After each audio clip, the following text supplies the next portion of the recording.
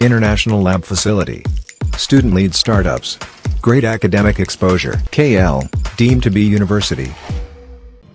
రాముడు నడయాడినటువంటి అయోధ్యలో పునఃప్రారంభం ఘడియలు దగ్గర పడ్డాయి ఇరవై రెండవ తేదీ జరిగే జరిగేటువంటి కార్యక్రమానికి దేశం మొత్తం వీక్షించేలాగా గల్లీ గల్లీలో పల్లె నుంచి పట్టణం దాకా ప్రతి వాడ వాడన జై శ్రీరామ్ అనేటువంటి నినాదాలు ప్రతి ఇంట ప్రతి గోడ మీద చేసినటువంటి సందర్భాలు ఉన్నాయి ఈ నేపథ్యంలోనే ఇరవై రెండవ తేదీ జరిగేటువంటి కార్యక్రమానికి ఆ కర్నూలులోనే ఉన్న ఎగ్జిబిషన్ కూడా వేదిక అవుతుంది. అక్కడ జరిగేటువంటి కార్యక్రమాన్ని లైవ్గా వీక్షించేందుకు పెద్ద ఎత్తున ఏర్పాట్లు చేస్తున్నారు. మనతో మాట్లాడడానికి ఆ సంబంధించిన కమిటీ సభ్యులు ఉన్నారు. సార్ చెప్పండి ఎలాంటి ఏర్పాట్లు చేశారు? అసలు ఇరవై రెండవ తేదీ చేయబోయే కార్యక్రమాలు ఏంటి? మనకు ఇరవై రెండవ తేదీ మూడు ముఖ్యమైన కార్యక్రమాలు ఏర్పాటు చేశాము. ఒకటి సీతారాముల కళ్యాణము రెండవ సీతారాముల శోభయాత్ర మూడవది సీతారాముల నమూనాలయాన్ని ఇక్కడ ఏర్పాటు చేసి దాంట్లో ప్రజలకు దర్శనం ఏర్పాటు చేయడము తర్వాత సీతారాముల వారి పట్టాభిషేక కార్యక్రమం. ఈ నాలుగు ఘట్టాలుగా మొత్తం కార్యక్రమాన్ని ఏర్పాటు చేసినాము. మనం కళ్యాణంతో కార్యక్రమం స్టార్ట్ అవుతుంది. ఓల్డ్ టౌన్లో నుంచి జమ్చెట్ల దగ్గర ఉన్న లలితాపీఠంలో కళ్యాణం స్టార్ట్ అవుతుంది. పది గంటల నుంచి పదకొండున్నరకు ఉంటుంది. పదకొండున్నర తర్వాత నుంచి పన్నెండున్నర వరకు లైవ్లో మనకు అయోధ్యలోకి జరిగే కార్యక్రమాన్ని ఎల్ఈడి స్క్రీన్ ద్వారా అందరికీ చూపించబడుతుంది. ఆ తర్వాత మనకు శోభయాత్ర ఒక పదహైదు అడుగుల శ్రీరాముల వారి విగ్రహం తీసుకొచ్చాము. ఆ గ- విగ్రహంతో శోభయాత్ర.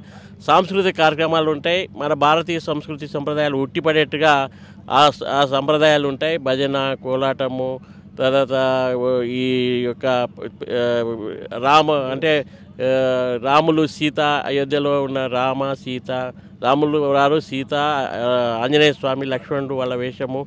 తర్వాత బాలాంజనేయుల స్వాములు వాళ్ళ వాళ్ళ చుట్టూ ఒక ఇరవై ముప్పై మంది బాలాంజనేయ స్వాములు ఆంజనేయ స్వామి వేషంలో ఉంటారు. అలాగే పెద్దవాళ్ళతో బాలాంజనేయ స్వామిది పెద్ద పెద్దవాళ్ళతో పెద్దవాళ్ళ ఆ ట్రూప్ ఒకటి ఉంటుంది. తర్వాత మన కోలాటం ఉంటుంది. తర్వాత నూట ఇరవై రెండు నదుల్లో నీళ్ళు తీసుకొచ్చాము. వాటి వాటి ద్వారా నూట ఎనిమిది కలశాల ఊరేగింపు ఉంటుంది. నూట ఎనిమిది కలశాలు.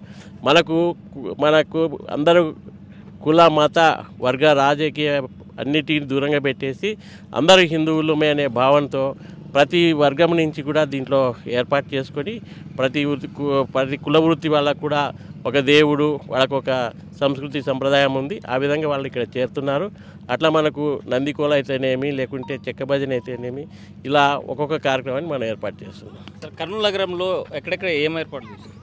సార్ కర్నూలు నగరంలో అసలు యాక్చువల్గా సార్ ఇరవై రెండో తేదీ అయోధ్యలో జరుగు రామాలయ బాలరాముని యొక్క విగ్రహ ప్రతిష్ట పురస్కరించుకొని మన కర్నూలు నగరం నందు సీతారాముల కళ్యాణ మహోత్సవ సమితి ఆధ్వర్యంలో కళ్యాణం ఒక ఘట్టం శోభయాత్ర ఒక ఘట్టం తర్వాత పట్టాభిషేకం ఒక ఘట్టం. శోభయాత్రలో బయలుదేరేటప్పుడు ప్రతి కుడలిలో భక్తులు పానకాలు వడపప్పులు తర్వాత లడ్డూలు వాటరు తర్వాత మజ్జిగ ప్యాకెట్లు తర్వాత వచ్చే కేసరి తర్వాత పూలతో స్వామివారికి స్వాగతం పలకడం పటాసులు కాల్చడం ఇది మరో దీపావళి జరగాలని చెప్పేసి మోడీ గారు చెప్పారు. అదేవిధంగా కర్నూలు నగరంలో చాలా ఘనంగా రంగరంగ వైభవం రంగ అంగరంగ వైభవంగా జరగాలని చెప్పేసి ఈ సమి కమిటీ తీర్మానించింది. కాకపోతే దానికి కారణం ఏమరా అంటే ఇది మూలాలు ఉన్నాయి సార్. ఇక్కడ కర్నూలుకి అక్కడ ఉన్న అయోధ్యకు సంబంధం ఉంది. కారణం ఏమరా అంటే అశోక్ సింగల్ గారు ఈ కేసును అప్పుడు ఆ తను సుప్రీంకోర్టులో వాదిస్తున్నప్పుడు కాస్త ఆయన కొంచెం ఫైనాన్షియల్లీ బ్యాక్డ్రాప్ అయినప్పుడు మన జి పుల్లారెడ్డి గారు స్వీట్స్ వారు పుల్లారెడ్డి గారు అధినేత గారు వారు ఇమ్మీడియట్లీ వెళ్ళి అయ్యా ఈ దీన్ని ఆపొద్దండి నేనున్నాను ఇమ్మీడియట్లీ రెండు రెండు లక్షలు మీ చేతిలో పెడుతున్నాను. ఎంతన్నా కానీ అవసరమైతే నా ఆస్తి కూడా అమ్మేసి ఇస్తాను. ఆ తర్వాత కూడా మా భార్య నగలు కూడా ఇస్తానని చెప్పేసి చెప్పి ఆయన ఆ రోజు మళ్ళీ సాయంత్రం ఆరు లక్షలు పెట్టి ఆ తర్వాత టోటల్ కోటి రూపాయలు ఇచ్చి ఆ రోజులో ఆయన ఈ కార్యక్రమాన్ని ఈరోజు ఆయన లేకుండానే దిగ్విజయం అవుతుంది ఇద్దరు లేరు. అశో- అశోక్ సింగల్ గారు లేరు పుల్లారెడ్డి గారు లేరు. కానీ వాళ్ళ పుణ్యాన ఈరోజు మనం చేసుకుంటున్నాం.